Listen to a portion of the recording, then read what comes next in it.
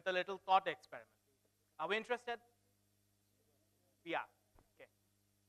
Imagine a healthy man suddenly, out of the blue, starts to have seizures, epileptic seizures. So he goes to a doctor. The neurologist scans the brain and finds out a tumor in the brain. So the person asks, Can I have some form of surgery to remove the tumor? The doctor says, Because of the location of the tumor, if they try to remove it, the damage to the surrounding brain tissue could be extensive, which can leave the person paralyzed for the rest of his life. So the doctor says that we recommend brain transplant. Now, here, the person then agrees. Now, here, I ask you, simply make a guess. We'll get to the answer anyways. Raise your hand if you think it will take more than a year for the person to recover all his healthy body functioning. Anybody? Okay, that's a good thing, most of it, because there is no such thing as a brain transplant. And there will never be. Like the way we have other organ transplants, and I'll tell you why. We can live with another person's heart, kidney, liver, and so on, but not the brain. Why? Because you are the brain. You're born in your brain. You live in your brain. Your emotions, your ambitions, your thoughts, your ideas, your characteristics, your personality, everything that makes you who you are is born in the brain. Tiniest bit of damage to this three pound lump of jelly can change your personality, perception radically. It can basically change who you are. Now, so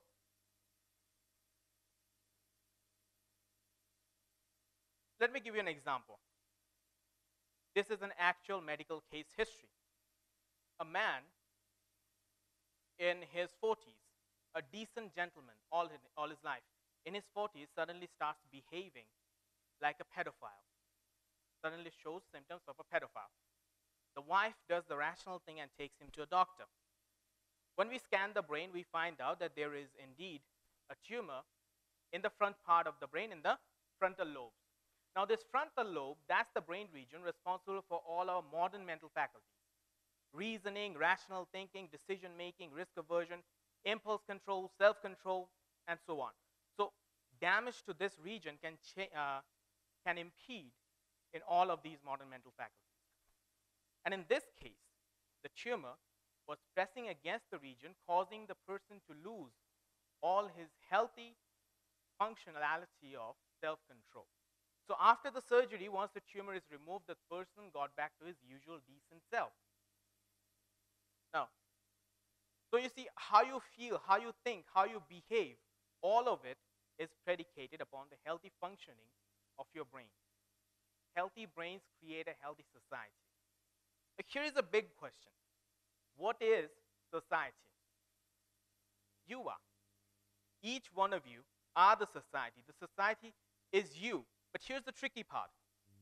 Since the moment you're born, the society tries to condition you to feel, think, and behave the way the society does.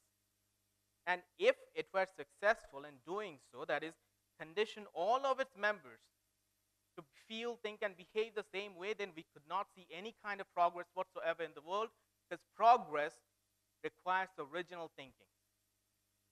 So, how do we see progress? Is because of those handful of individuals whom the society fails to condition. These are the so called misfits, the anomalies. These are the torchbearers of progress, and they are present in all times and ages in every field of human excellence. Let me give an example on that, but that let's go back in time. About 1.5 million years ago, there was not a single creature on earth that was not afraid of fire. But it all changed when a handful of our ancestors conquered their instinctive fear of fire and leaped into the blaze. These were them, the Homo erectus. They leaped into the blaze out of curiosity, and they arose triumphant, a few of them. They arose triumphant masters of fire, not just for themselves, but for their entire species. Suddenly, an entire new world of possibilities opened up to them. But for the first time in the history of life, a species had the upper hand against darkness, against cold weather, against predators, that is, all the monstrosities of the wicked old Mother Nature.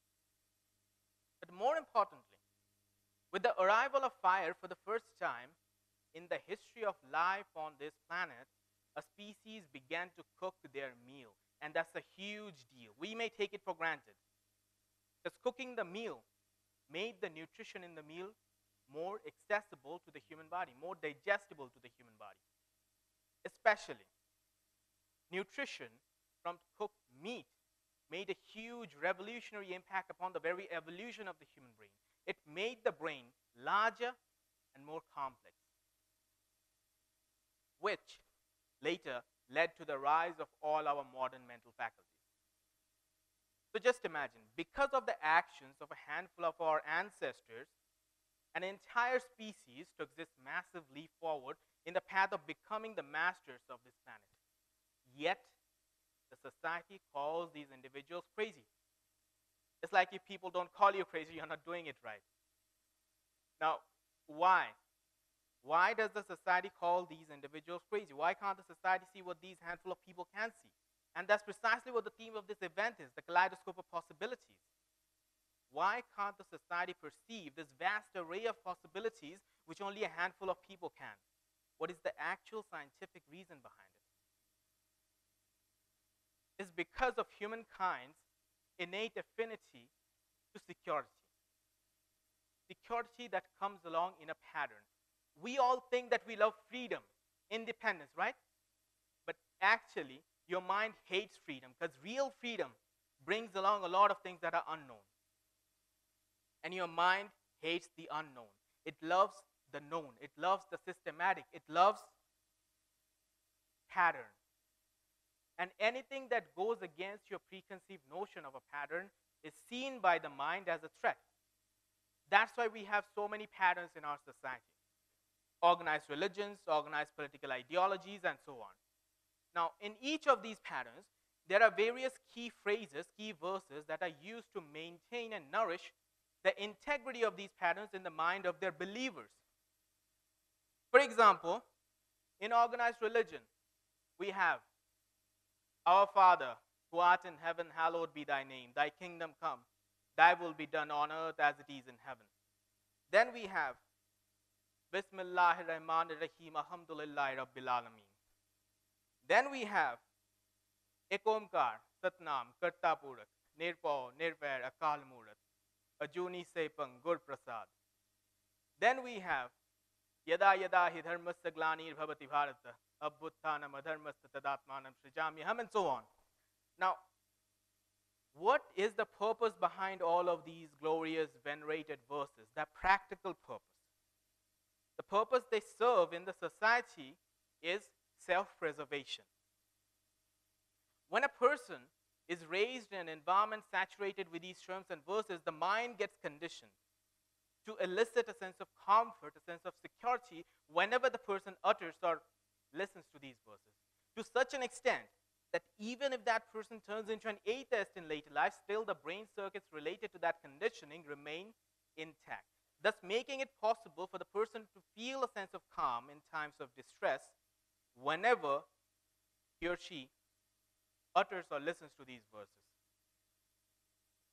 Now, that's precisely what the purpose of a belief is. The purpose of a belief is self preservation. Then we have cheaper alternatives to these grand patterns. That is, people love to believe in uh, astrology, psychics, tarot cards, palm reading, crystal balls, and so on. Biggest of them all, destiny.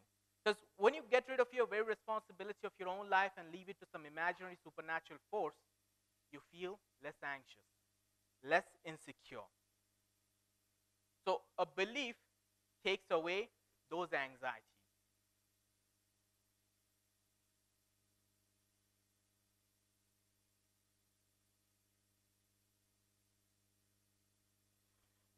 Now, if everybody left things to destiny, then we could not see any progress in the world. So, how do we see progress? Is because of those handful of individuals who actually see things the way they want to see and they actually stand up and act. Rest of humanity simply follows in their footsteps.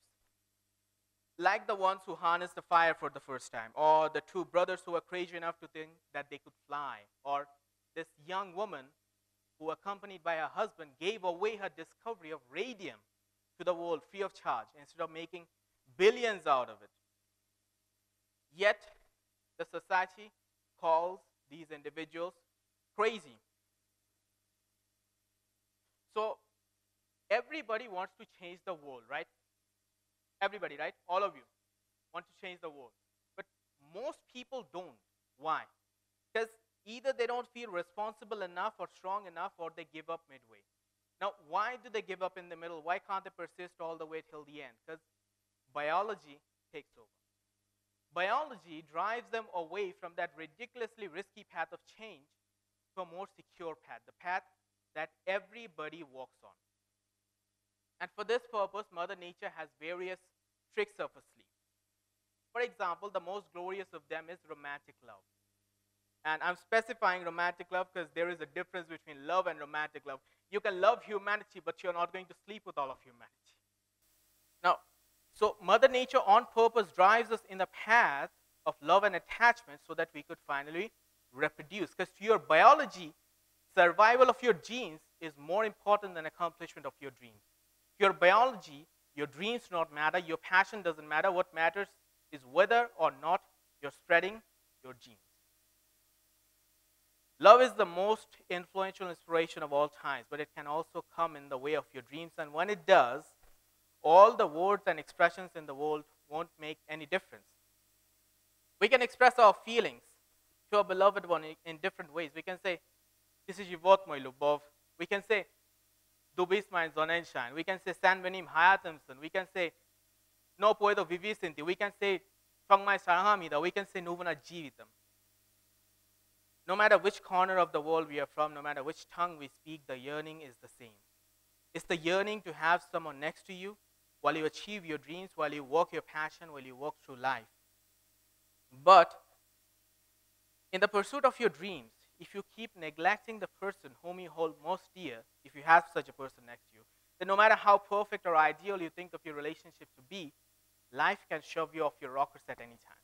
And when it does, all the purpose in your life won't matter. When it does, you will have to make some rather tough decisions. And here, there is no right or wrong decision here. Because either way, you will suffer. Suffering is an existential part of human life. So, what matters is for you to know what is important to you. The point is, life is not going to give you anything out of goodwill because it has no purpose.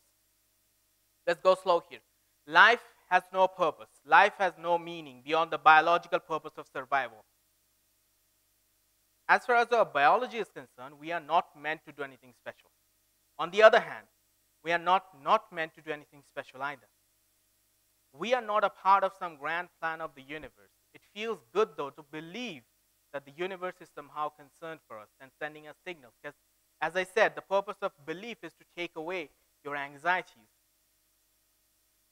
So, when the universe sends us signals, we believe it just simply feels that the universe is concerned for us. But it has no relation to truth whatsoever. So, what matters in this human world is the purpose and meaning that you, the human, provide in your life.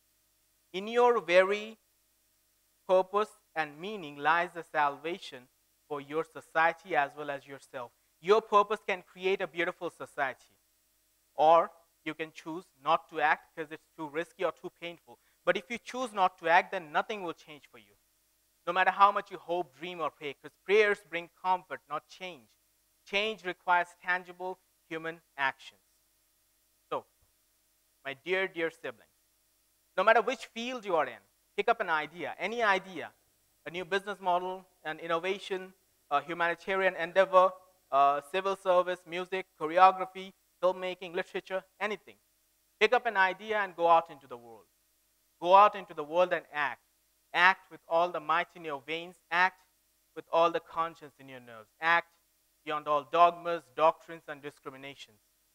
So that the humanity of tomorrow will be grateful to you for delivering them a world of acceptance, a world of humaneness, and above all, a world of a unified, progressive humankind. Thank you very much.